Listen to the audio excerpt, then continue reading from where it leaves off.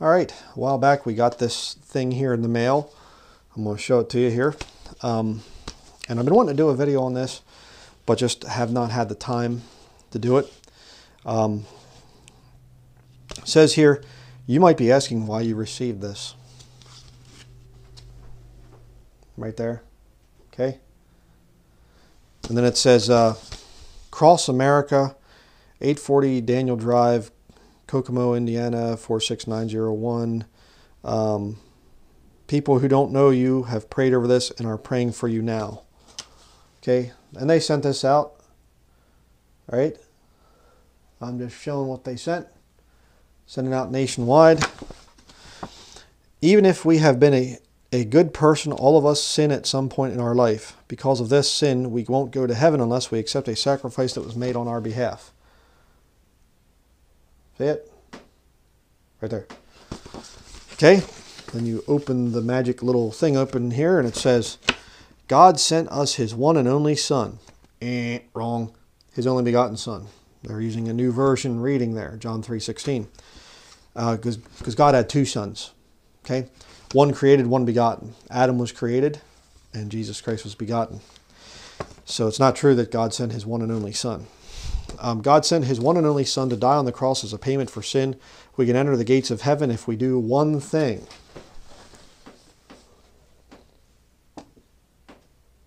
Okay? And we get down to this down here in a little bit here, but you do. You open up the magic doors here,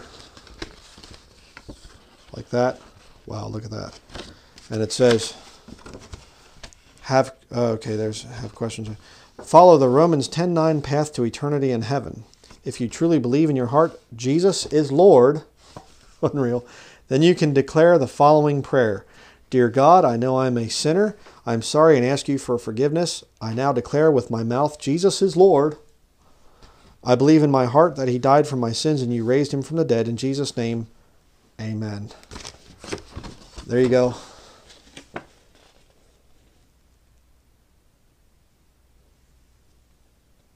Amazing. The Bible doesn't say Jesus is Lord, it says Jesus is the Lord.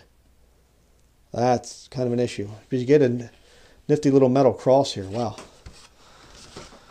So I can be a good Catholic. I mean, a Christian have questions. If you have any questions, email us at questions at crossamerica.net. Simply saying this prayer won't get you into heaven unless you truly believe. Da-da-da. We are here to help you so you can believe and spend eternity in heaven. Okay, um, what about the fact that you're a sinner? Where's the conviction of sin? Where's repentance? Where's, you know?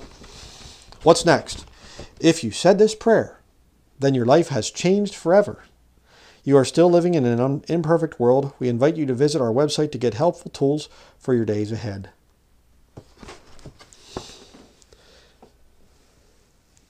There you go. A little uh, ecumenical New World Order, all the different races joining hands and, and you know the globe. We can become global citizens. Yeah. Um, CrossAmerica.net First Supper. Down at the bottom, I'll read this, then show it to you. Fold it back like that.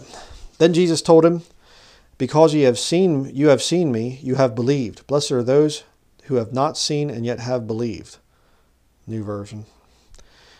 A big surprise, you know. The mission of Cross America is to send a cross and path to salvation to every home in America. If you would like to get involved with this mission in any way, please visit our website at crossamerica.net or stop by our facility to volunteer at, then they give the address. There you go. Okay? And again, they're sending this thing out to everybody out there. That's their goal. I don't know if you've received one of these things yet. Been a while since we got this thing, but uh, absolutely ridic ridiculous. This is not the path to salvation. There's no hey, you're a sinner. Christ Jesus came into the world to save sinners, of whom I am chief. Nothing like that. They give you a little metal cross that you can hang up or whatever else. Um, you see, that's not salvation, right? Easy believism, whatever you want to call it. That's what this is. Okay? So, watch out for this kind of heretical nonsense. Thank you for watching.